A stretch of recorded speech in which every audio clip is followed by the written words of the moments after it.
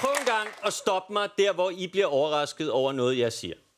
En tidligere sovjetstats korrupte regime hvidvasker milliarder via en baltisk filial af Danske Bank, der skal bruges til at smøre korrupte politikere i Europarådet, der blev stiftet i 1949 som et boldværk mod blandt andet korruption.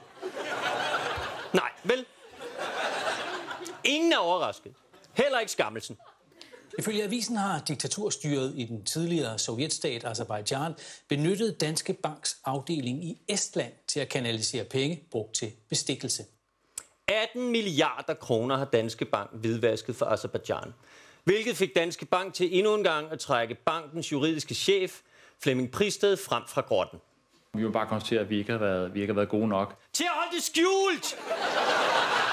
Og det er vi bare vildt ked af! Og det er ikke engang en tilståelsessag fra Danske Banks side. Svindelnummeret blev opdaget af en lille italiensk bank. Og så er altså gal. Når der sidder en italiensk mafioso og siger, ah, det er lidt meget hvidvask, det der. Erhvervsminister og tænk som Harry Potter lookalike contest vinder, Brian Mikkelsen. Kom så, sæt dem på plads. Vis Danske Bank, hvor skabet skal stå. Jeg synes ikke, der er behov for at stramme lovgivningen yderligere. Sådan! Intet skal gøres! Danske Bank er så store, at de skal reddes, når der er krise, og resten af tiden, der skal de bare buske alt det, de orker. Men jeg ved, hvordan vi får hævn. Jeg ved, hvad vi gør.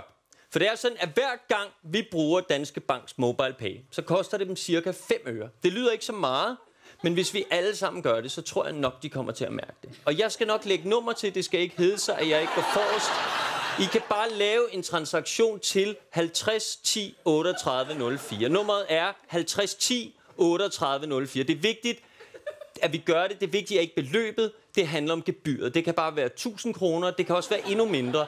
Det er ikke så vigtigt. Det er gebyret, banken betaler, som det her handler om. Så gør det nu. Øh, vi skal lære de grådige kapitalister, at vi danskere ikke er så dumme og naive, som de tror. Den lille mand, han er blevet snydt længe nok. Sådan skal det ikke være. Kom, både her i studiet, ude bag skærmene. Send penge til mig, eller jeg mener, straf Danske Bank.